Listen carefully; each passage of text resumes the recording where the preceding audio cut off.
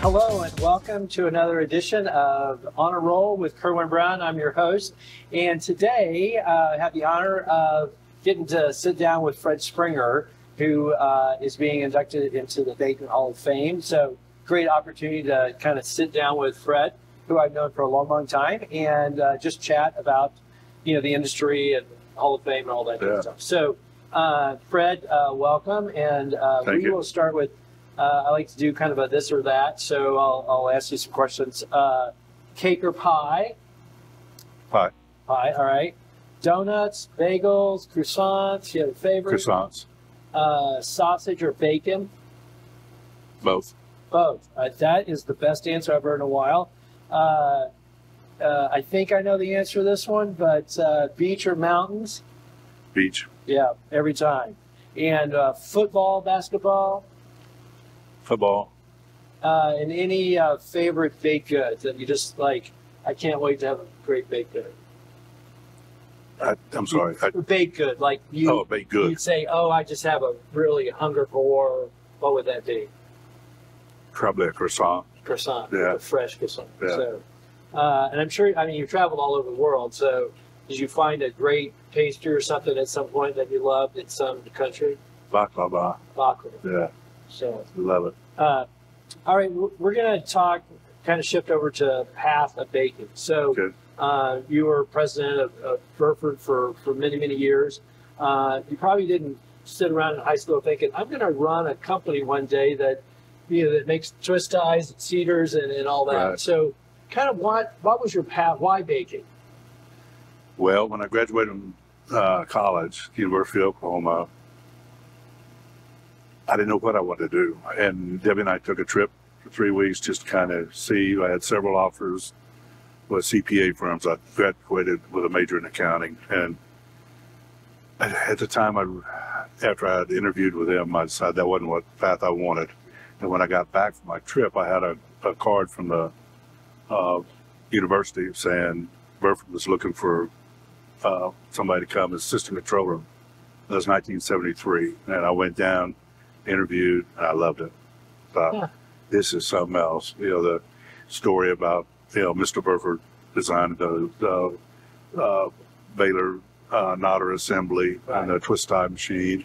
I was just flabbergasted, and I Huh. thought this is for me. So anyway, I started there and uh, just got more involved with uh, everything. You know, the, we designed equipment and Right. Going through all that. With, with I love staying late with engineers out there, looking at watching what they're doing and Right. getting involved. And then uh, going to the first bakery was in Oklahoma City uh, on a trial was was a great experience. So And you were sort of, I've heard stories about, you know, you had a Mustang, I think, early on. You were kind of a gear, were you kind of a gearhead? So you liked how Yeah. things work, I yeah, guess. I did. I loved it. Uh, you know, I grew up kind of in my dad's business, and uh, we were always tinkering with something. And Right. you know, I had a '62 Chevy that we took Oh, the engine Chevy. out, Right. back in, and uh, then I eventually wound up with a Shelby GT500. And, Right. uh, had all kinds of motorcycles. Know, always messing with those. Right. I had a '58 Cushman Beetle that was uh, quite a quite a machine. But uh, so Well, we are in the Burford Suite, or kind of Burford Suite North. Right behind us is the Burford Suite, and, and you know, been a part of that Burford Suite for for you know probably most of my career, thirty years or so. And you know, I think the Burford Suite, if you look at it, is sort of a, a microcosm of our industry. It's people together having fun, conducting business, all that. Uh, but it took a long time to get to where it was today, so popular. Yeah. It, it's such a just a phenon in our industry. So it didn't start out like that. So what No. did you have a like dream about the Burford Suite and what it was going to be one day, or yeah, we, when we first decided we were going to have a suite, we uh, had that dream of it being exactly what it is now. right? But how do you get it there? And I, I have to give the credit to Teresa Reuter. She, when I hired her, we'd had it for I don't know four or five years, and it was just almost floundering. And I thought either we're going to make it happen or get rid of it. And she said, "I'll make it happen." And so it just evolved from there. We had got to where we had meetings in there. the ATBI past presidents meeting. Uh, they, we we had some meetings in Past there. years, but I mean, there- Uh, and she would make all these snacks and all that. But the big draw was in the evenings uh, with their LCR. And uh, we, I think we started out with poker, but then we went to LCR. And uh, people just fight for a chair to, at the table to, to get in for that. Yeah. But it's the getting together, the bakers, the allies, and everybody, you know, sitting around having a drink and visiting with each other and talking about this story or that story. And uh, it's just a place to gather. Yeah, no, it's it's it's such it's a can't miss. Uh, uh, you've done so. You started there early out of your career. Yeah. You've done lots of different things, all that. So uh, maybe a funny story about you know either something not great or funny or something you learned over Yeah. your career there at Burford. Well, you know, I think that there's a lot of stories, but I think the one that kind of sticks in my mind and, and it's a lesson as well. But uh, we had a project that was going real well and here in the States and we were trying to get it in over in Europe and we had a bakery in the UK that had actually corporate decided, yeah, we'll give that a try. So they give us the toughest bakery to put it in and the corporate engineer, he didn't like anything new, absolutely nothing new. And so I'd send an engineer over to measure everything because we had to cut part of their conveyor out to fit ours in and everything just right. And so myself, I sent my people over to install it. And my sales manager and I, the guy called and said, want to have a meeting that morning. I said, well, we want to, we want to go by and talk to our people. He said, no, I want to come to my meeting first. So we went to the meeting and sat down with him and went through how great we were and all the things Burford could do. He just sat there, yeah. Really? Oh, yeah. Okay. And we, after we got through with our coffee and biscuits, he said, uh, have you talked to your guys this morning? I said, no. So we're going to go out and see them when we get through here. He said, your conveyor's an inch too short. Ain't going to work. And I said, oh my God. He said, what are you going to do about it? I said, we're going to fix it. I said, he's, who's going to fix it? I said, my guys are going to fix it. He said, you cut my conveyor. I said, we're going to fix your conveyor until I get a new one. Right. Sent over, we sent a brand new one over, and installed it. Everything was great. And he and I have had laughs about that. You know, he, so it, it kind of turned a guy that was kind of rough and crunchy to a really, really good friend Right. uh, overall. uh, definitely persevering and making it right. You know, Making that right. persevering and That's making it. things right. Sometimes you get a stronger customer than if you just would have, you know, stayed on the.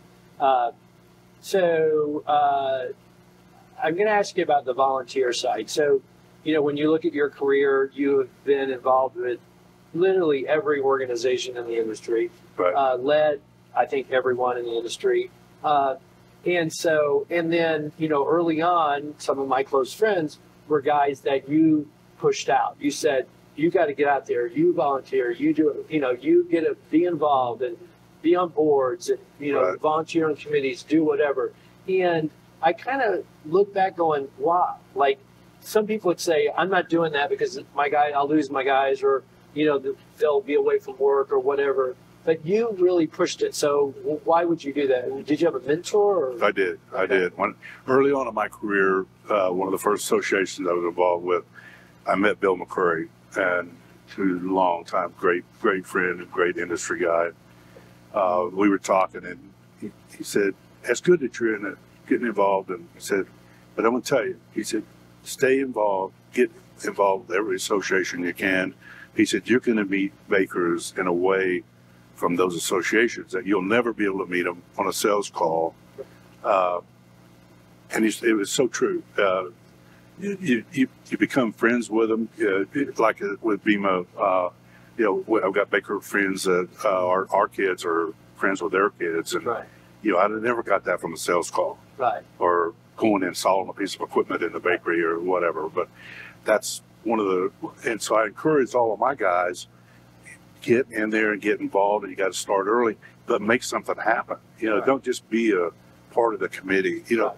try to try to go through the chairs, go through everything. And you know, I, I, I've been so fortunate to have so many great guys that that worked for me Yeah, that, that to. have done that. and wanted to make a difference. They wanted They've to make been a difference. they saw it yeah.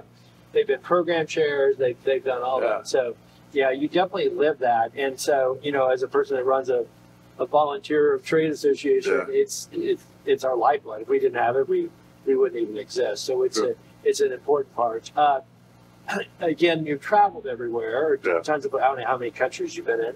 Uh, I remember celebrating your birthday. Uh, I think IBA was always around your birthday, Yeah. so we've celebrated your birthday in other countries. So, uh, any favorite country that you went to in all those in all those travels? Yeah, probably Dusseldorf would be one of my favorites as far as that. Besides England, uh, about everywhere in England is uh, that I love, but Dusseldorf during October, or not during Oc- that's in Munich, but During IBA and during IBA and all that. And Yeah, having uh, a, a small beer and celebrate celebrate my birthday there. and celebrate your birthday Yeah. in Düsseldorf. Uh, uh, last is you know again celebrating your Hall of Fame, and uh, you know you've got uh, we have we have the Fred Springer Lifetime Achievement Award at uh, BEMA.